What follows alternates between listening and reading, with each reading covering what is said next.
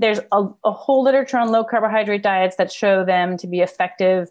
Um, I think probably most convincingly for um, the reversal of a type 2 diabetes diagnosis, for reversing that process. And that's why the American Diabetes Association has now in their guidelines is mentions not only of low carb but of the keto diet as as wow. you know, good viable options and the best diet for glycemic control which means controlling your blood sugar which is the most important thing you can possibly do in diabetes. And also by the way and this is an important kind of like uh, ancillary to our, what we're talking about which is in the literature on um, how to avoid the worst outcomes for the coronavirus one of the what they a study recently found that what most tightly associates with and what is most associated with poor outcomes was high blood sugars upon admission to yeah, the hospital. Yeah. Yes. So keeping your glycemic control in control is super important. It's so important. Yeah. So I mean, I think that literature, you know, as a start, reversing diabetes in America, which is, you know, drives the majority of healthcare costs. Um,